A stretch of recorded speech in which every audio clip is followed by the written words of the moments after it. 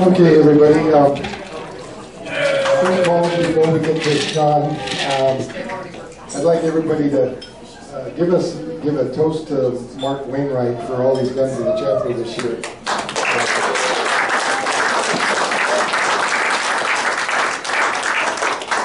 Thank you, Mark, for everything you've done.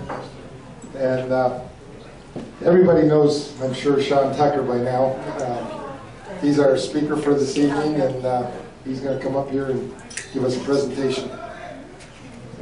Sean? Let's toast the guy that got him to come. Toast Sean and back together. How long do I get? As long as you want. They probably like you to stay for, I have to be at work, I have to be at work at nine.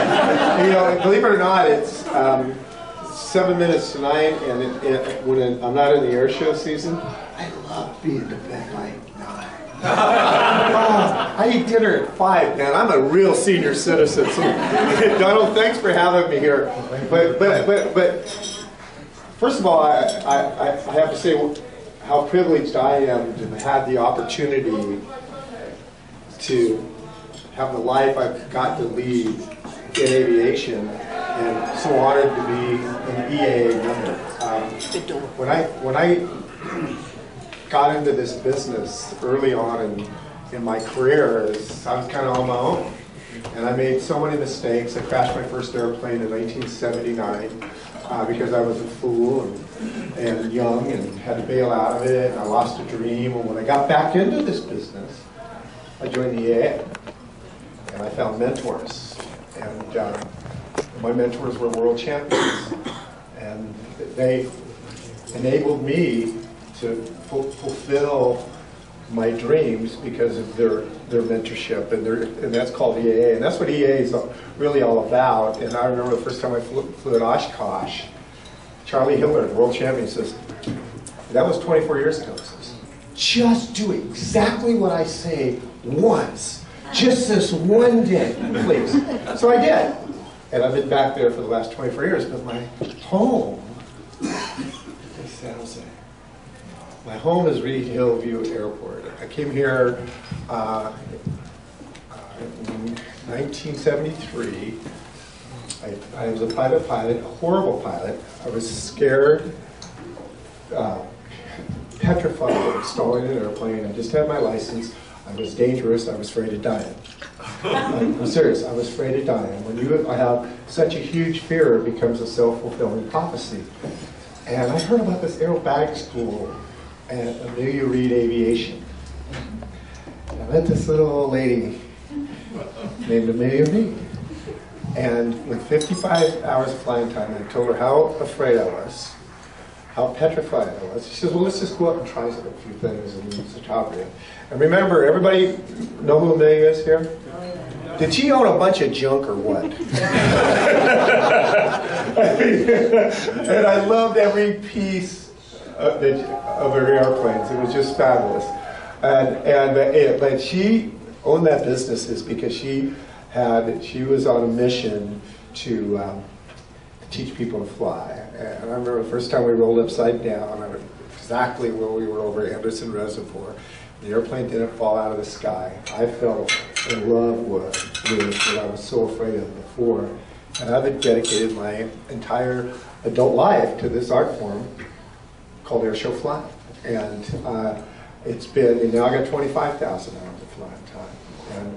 And, and I love it more today when I first began, when I first began, became hooked on it. So I'd just like to show you the first video. In fact, do you know how to do it?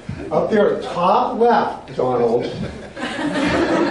Okay, we're gonna, and this will just give you a top left, see the yellow thing? That's it, Donald. Okay. No, cut it. People say that I'm one of the greatest airshow pilots that ever lived.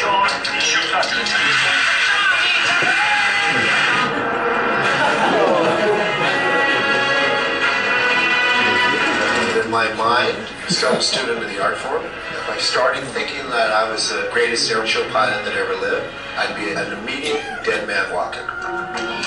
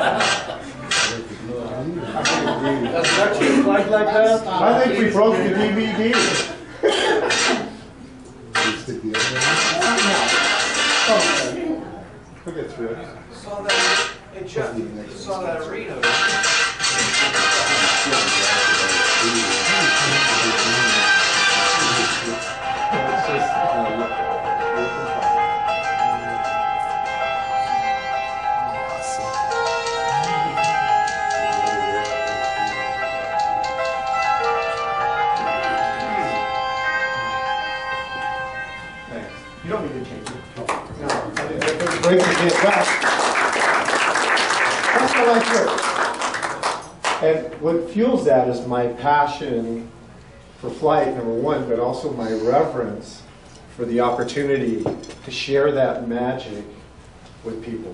I fly in front of about six million people a year, all across North America, about 20 venues a year. Got an incredible team that support me in terms of a great maintenance staff. This airplane was built for me, to my specs. I've had this flying machine for, uh, it's just finished our fourth season. We overhaul it every single year. That means we take the fabric off, we take the engine off, we take the propeller off, we inspect every weld, we send the engine to the junkyard. I get a new motor, I give it to a hot rod guy who pumps up the motor from 260 horsepower to 400 horsepower. And we, the airplane weighs 1,200 pounds, 400 horsepower, almost 1,500 pounds of thrust. Huge control surfaces, and I fly it about 700 times a year to practice because the control surfaces are so large that you have to fly it with your fingers. The wings have to be your arms. It's all about nuance. You just can't throw it around. Uh, I see about 10 positive G's going away from the earth, close to 8 negative G's tumbling forward. And it's tough on the body, it's tough on the airplane. The airplane, it takes four months to rebuild the airplane. I have a full-time staff who does that every year. And it takes me about three months to heal because it's physically very demanding. But when you get to live in the presence, and that's why we're all flyers, we're, we're, we're, we're in the sky because it's who we are as human beings. We look at the world from a different perspective. And for me to fly in a low-level environment safely, acutely, and make decisions that are critical to my life, where I have to make instant decisions, I have to be one with my flying machine. And that's why I practice so much. During the season, it's three times a day. I take a week off, it takes me 90 flights to get ready for the first air show after I've been off in the winter. 90 flights. Takes me 30 flights to quit being nauseous. I mean, it's tough, man. This stuff makes you sick to your stomach. I don't care who you are. This stuff just hurts, you know? And once I become G tolerant and unnauseous, it's just fun.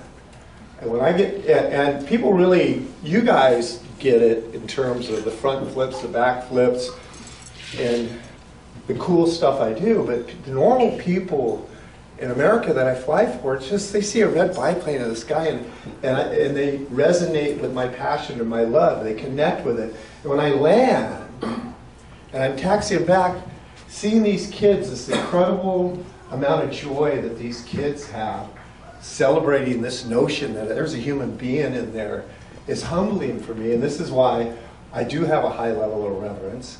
This is why I am so honored to be the chairman of the Young Eagles. And I'm actually, they called me at first the honorary chairman. And I told Jack Pelton, there's no honorary about me.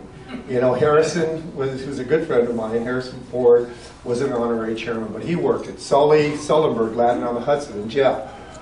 I'm working this. I'm working at every single venue just like these other volunteers.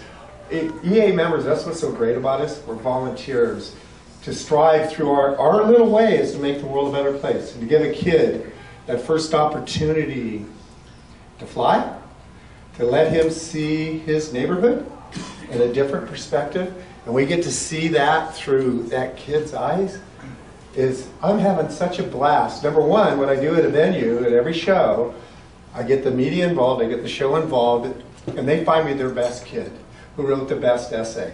And the media comes and they make the story because people are still so enamored with this concept of kids flying.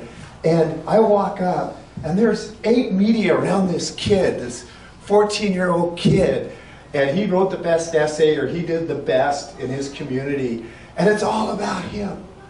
Yeah, it's all about him. And I just love being the conduit to connect them because other kids read this and they, they, they get it. And so we're really spreading the word um, across the country at every venue where I take these kids flying. But what also I get to do is take that chapters, and you know, I owe you guys one. You guys pick out who, which volunteer, coordinator, or pilot you want me to take flying. We'll go down to King City. But I take the volunteer, that chapter's best volunteer, the one they decided to go flying with me, and we do aerobatics.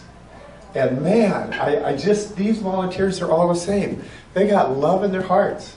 They care about what flying means, and, and I've gotten so much out of it, and I, I really do feel honored to be the chairman of the Young Eagles. And, and, it's, you know, it's, there's a, there's a, a saying that um, very wealthy, successful man said. He said, you know, it doesn't matter how rich you are, it doesn't matter how famous you are, it doesn't matter any of that. If you're not giving back, you're not relevant. And you know, the EAA members give back to this community, and to me, that's that's not only relevant, it's righteous. So I decided in my community to take it one step farther. I got work for you. You got to quit taking your picture. Can you do this? You're going to have to put it right to this one. Yeah, yeah. And we just finished our first batch of seven at risk, which was kids on probation. Right there. Just hit it. Perfect. This is Selena Southland. Is to redefine Oh, human beings by challenging them to solo flight of an airplane. And uh, it's going to be very, very Chuck? Chuck?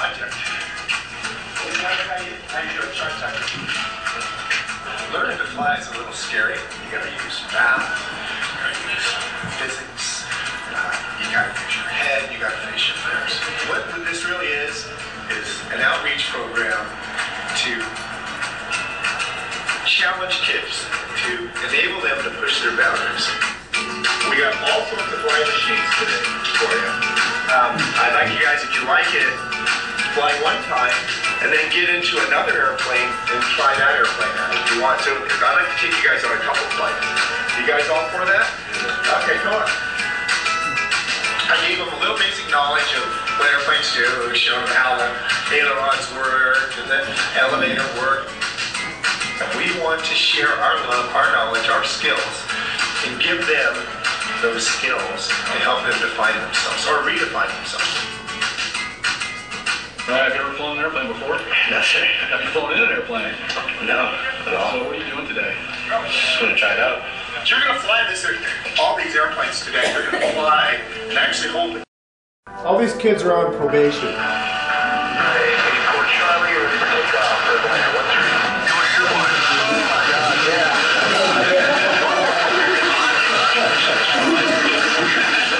All these kids aren't on probation anymore. And some will want to fly, and some will finish all the way through. Some All these will kids were in uh, gangs. being pilots. None of these kids are in gangs So, anymore. have. All of these kids now have a redefined got their high school their life. diploma. Every person who sold their airplane. Three of them are going to college. Nobody ever has because it's so redefining.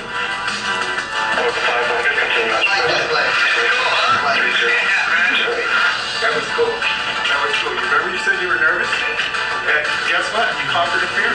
You know? That's what it's all about, man.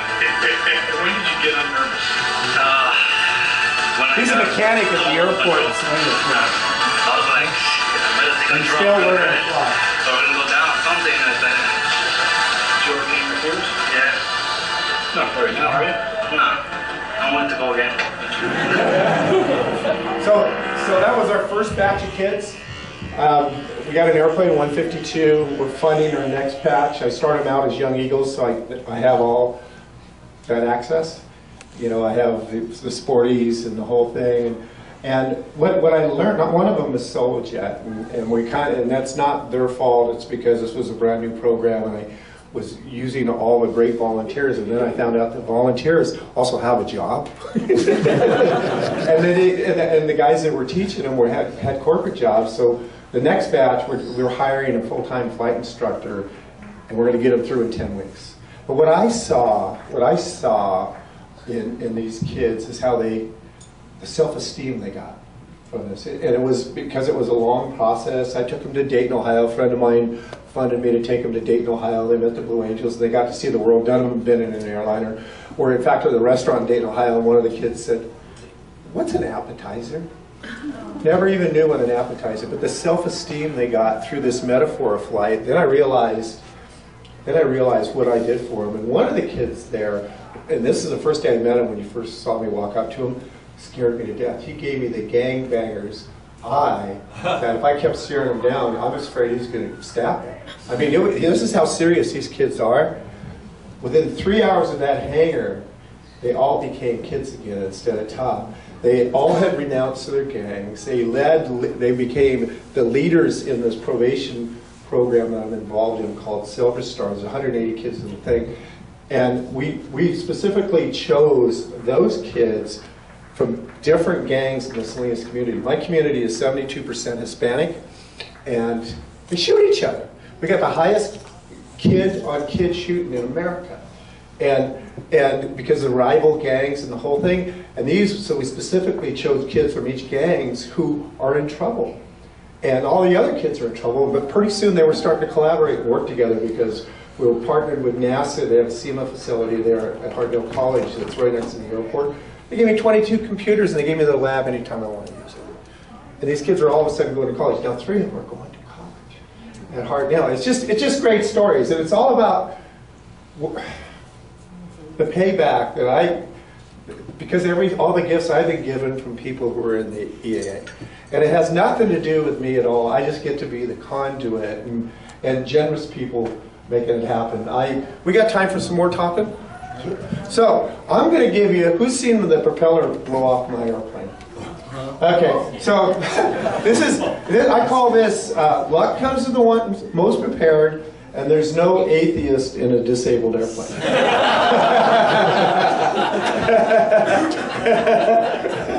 I don't think many pilots are atheists anyway, because of what we get to see. But this is privilege. So, in fact, this little girl that I took flying was my niece's best friend. This is um, about 16 or 17 years ago, using one of my flight school airplanes. And my niece, had, as it was after Easter, my niece asked, she was, this little girl was going to college UC Santa Barbara, asked, will you, Uncle Sean, will you take her flying? And she, she was just a delightful young lady. I took her flying. We're doing an inverted flat spin. And the prop comes off. Okay? And then it wasn't fun anymore. she became a missionary. I'm not kidding you. it's a true story. Calling when you die. Oh, by the way, I forgot to introduce my wife. Uh, 37 years or 8 years? Colleen Scandal. That's my wife, Colleen. Actually, actually, she was going to San Jose State, and I was hitch. I was going to uh, college in Santa Cruz, and I was hitchhiking over here. Didn't have a car, and I'd end up if I stayed in too late, I'd end up and spend the night at her house, and we just were friends. And somehow we became more fri- more than friends. She was in nursing school at San Jose State, and we became more friends. And all of a sudden, we got married, and we're still hanging out. and she puts out, she puts up with me for a long time.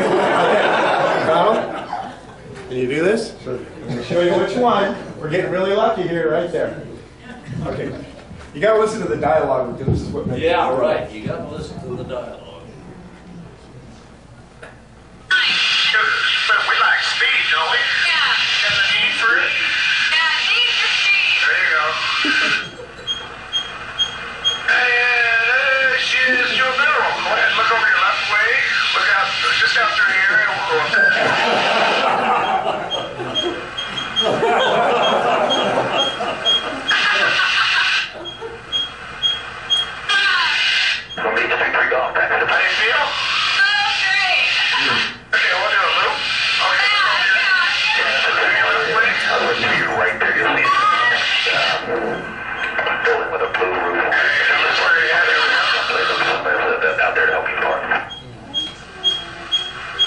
Connor Head Watson G.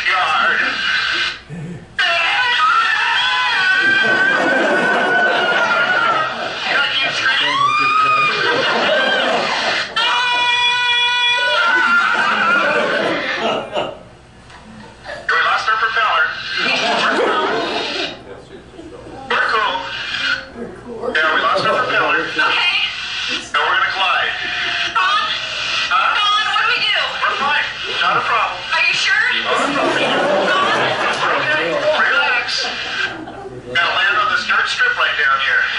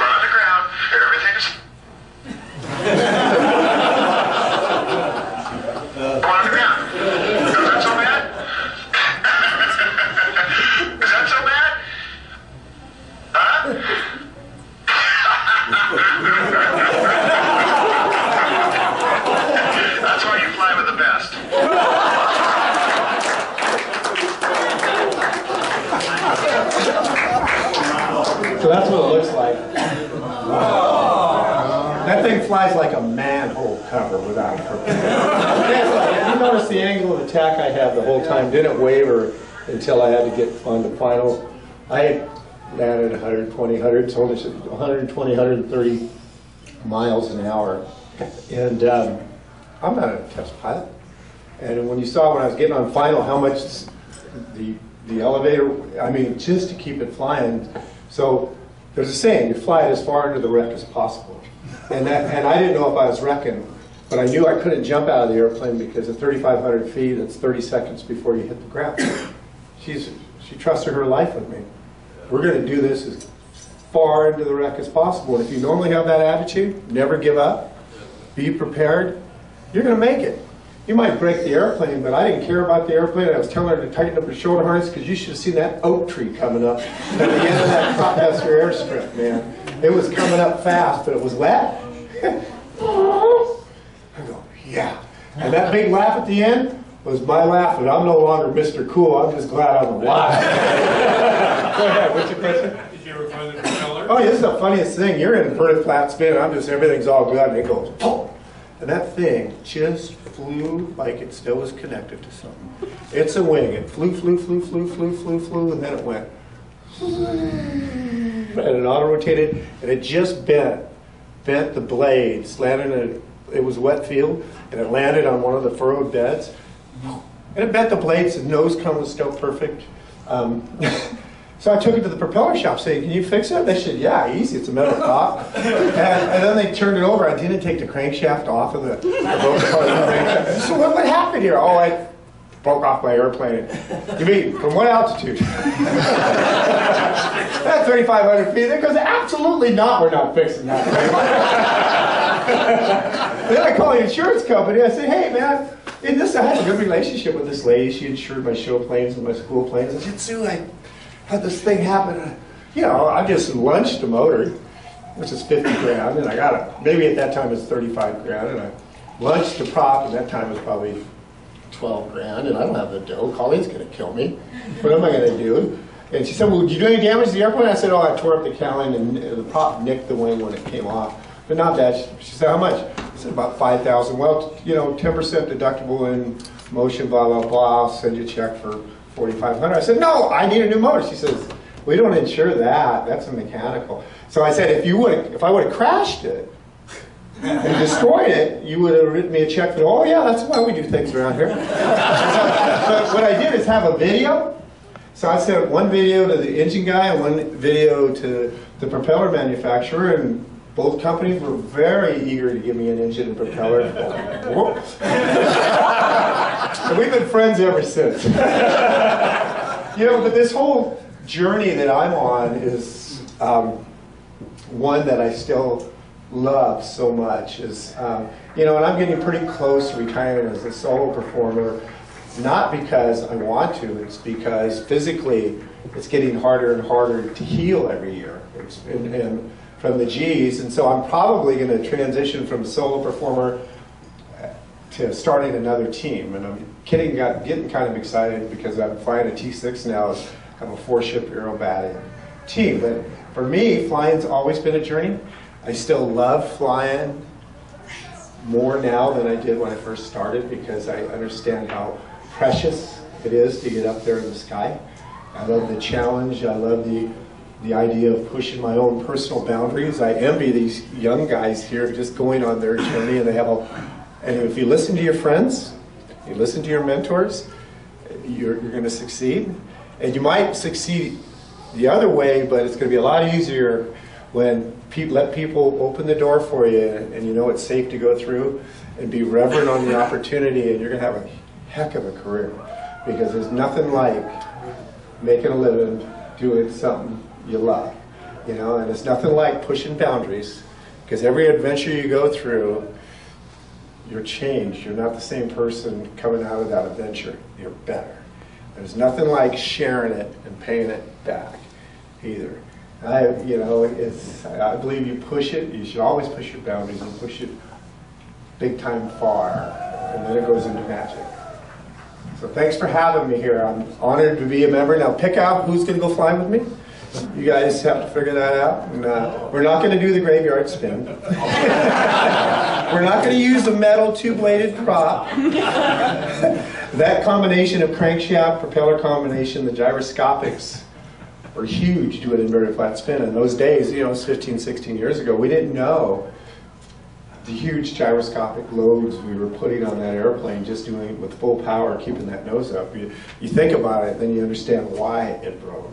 It's, it's just, You can't have a two-bladed prop with all that, that gyroscopic loads on it. We do now a three-bladed prop that, and we've never had a failure. I mean, in the industry, has- doesn't have gy- uh, crankshaft propellers coming off anymore, because we're all using composite which is either wood or, or true composites, and we, all the loads are equally, or- or surrounds the crankshaft, there's not unequal loads, and we never have those failures anyway. So we won't do that, we'll go fly an extra 300 or Pitts or a T6, whatever you want, come down to Salinas. Is there any questions? Yes, sir? So, uh, you normally fly the biplane, Uh-huh. and I'm just wondering why, instead of the extra? Oh, well, first of all, my biplane rocks, and I, but, but, but let me tell you what, let me tell you why. The monoplanes dominate the competition. Yeah, yeah, but they don't rock. A monoplane is like dancing with a prima ballerina. Big, long lines, elegant, graceful maneuvers. I'm like dancing with a biker girl. We're down and dirty. We're just rock and roll, man. And, and truly, monoplanes rock the competition because they're looking at lines and angles. Always rock the competition. And I wanted a monoplane, but I couldn't afford one. I won the national championships in the advanced category in '88 with a Pitts S2S. Paid 32 grand for. That's what I went on the road with, and that's what I started becoming successful at. I was, and by the time I could afford any airplane I want, I already established the brand. And people expected Sean D. Tucker, thank goodness. Number one, my son named me Sean D. Tucker. I used to be just Sean Tucker. But he'd go, that's my dad, Sean D. Tucker. And then people resonated with it. And also they expected a biplane. And so what I did with this biplane is made it better than those monoplanes. those Sissy airplanes. And how I did is I used some of their technologies. You know, I have a flying tail. I use, I have carbon fibers where I want it. I can go, there's some, some monoplanes that can still outrun me, but not many. Full throttle, I'm 240 miles an hour. You know, that's a lot of speed. And I can get through the corners so much quicker because I got, monoplanes are 30 foot wingspan. I'm 19. I can round those corners and I can keep it in the box right there. That's why, but I own two extra 300. I so know it's- I know but four biplanes, baby. sure. Do you use it, do you uh, wear a, a suit on there so that you? No. Um, the well, first of all, to use a pneumatic suit, Yeah. RGs are really quick. Yeah. I mean, we're and so you can normally get through them. We don't do lots of sustained. I do nine seven on my poles, but they're quick.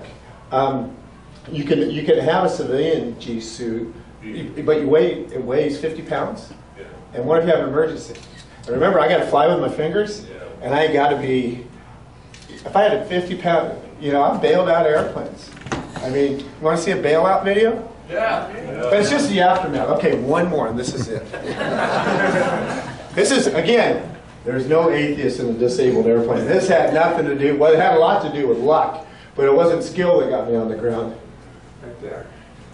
Sean, what's the tightest fix you were ever in that airplane? Oh, you'll see this one. This, I found This one here? Yeah.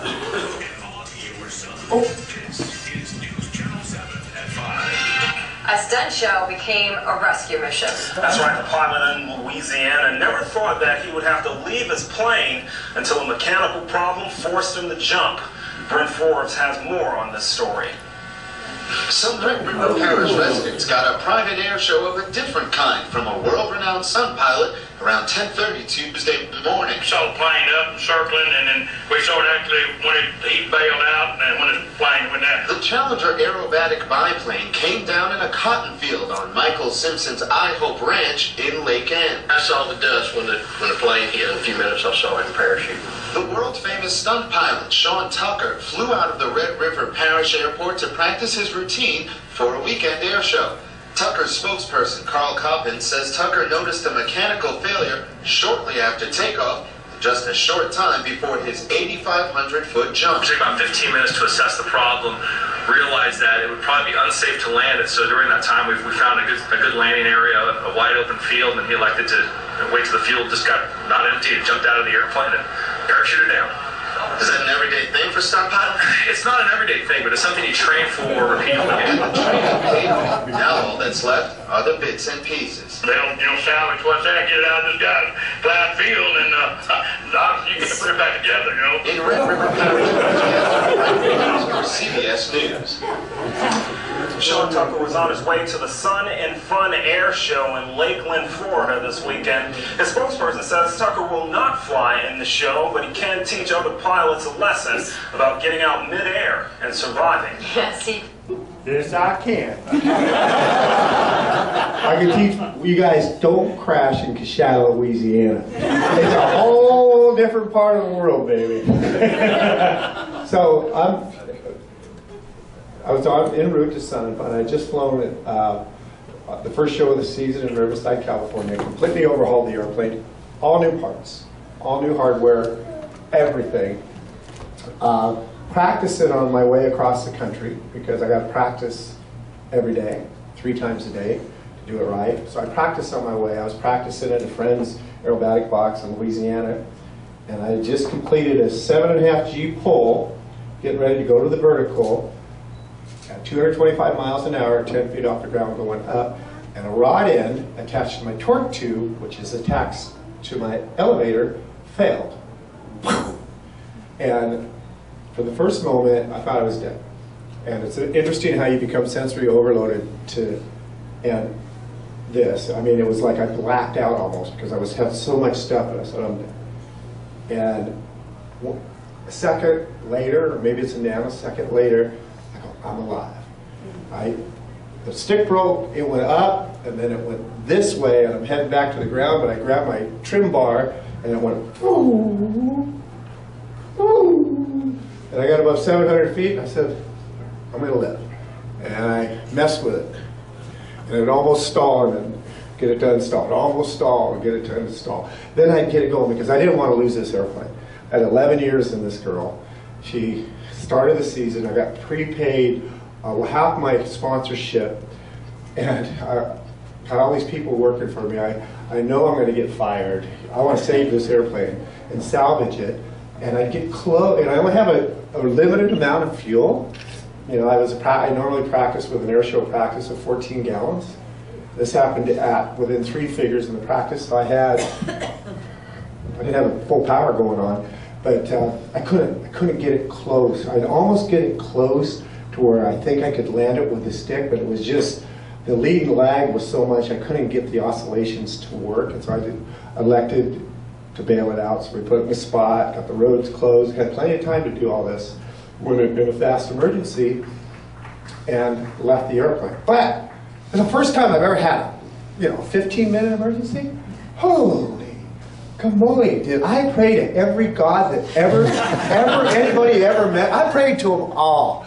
Because, you know, what was really hit me is that um, I still have to jump out of this airplane, something could happen. So I said to my crew, you know, if something happens to me, please tell Colleen and Eric and Tara I love them. And that sobers you up and makes you going, ooh, this is still the real deal. Um, but after you, after I said that, and after I said, prayed to every God there was, I was very clear. And it didn't, the the bailout wasn't like you'd see in the movies.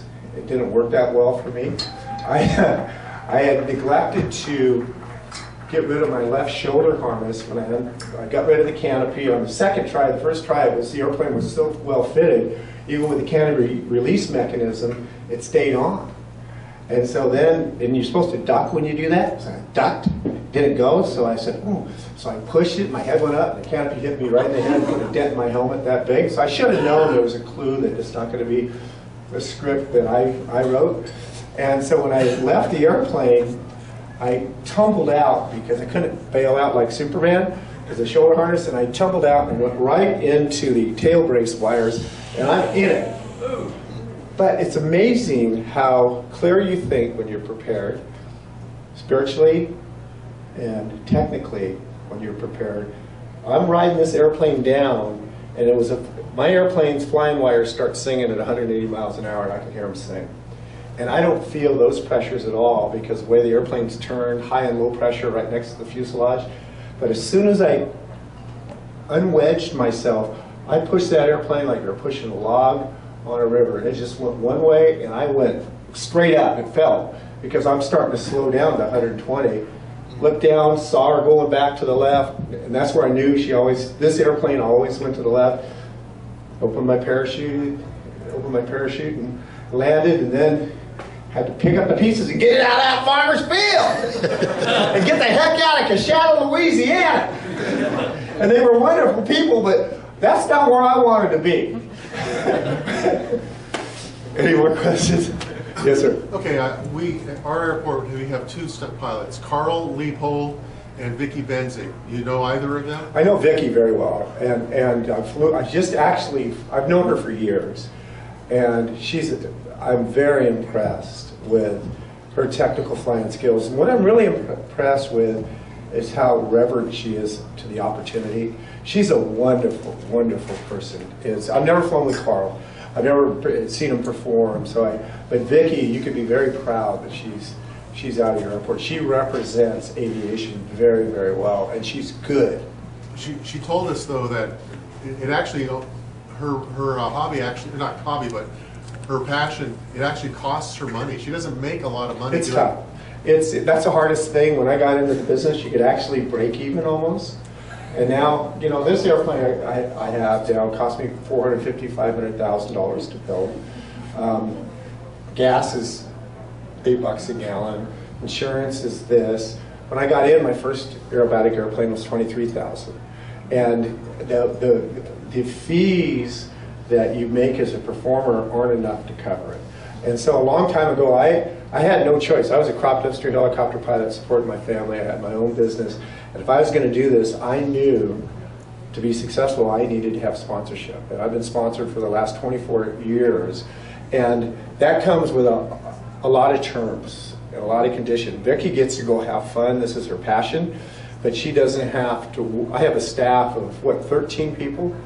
that it takes to run this a successful sponsorship operation. It's just like an IndyCar in terms of your mechanics, your hospitality, your logistics, invitations to be successful. I've been very fortunate that I've, I've just finished my 13th season with Oracle. It's a year-to-year deal.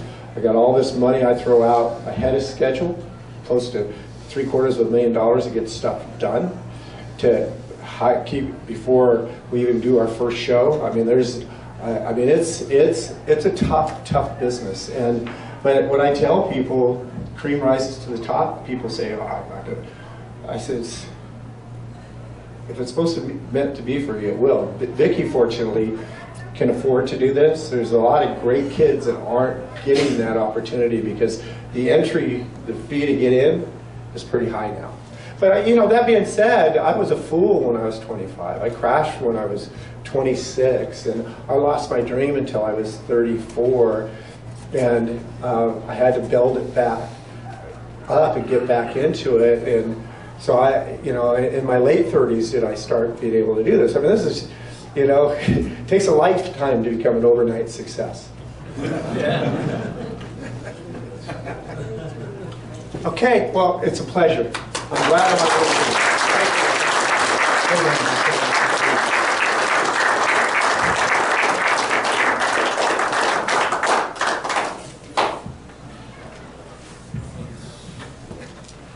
I love goodies.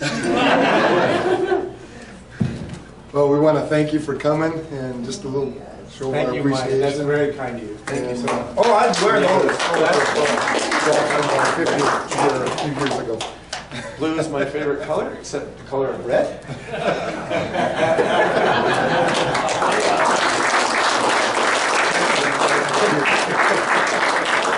I'm gonna grab this. This will be one for you, one for Colleen. That's, thank you very much.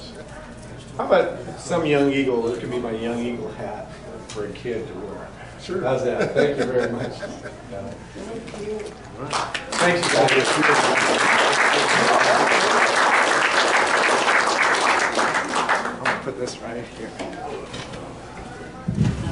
Uh, If anyone would like to, Sean will uh, take some pictures with you. We- I'd like to get a picture with the Young Eagle pilots that are here with him uh, and some of the volunteers that have worked uh, during the year for the chapter.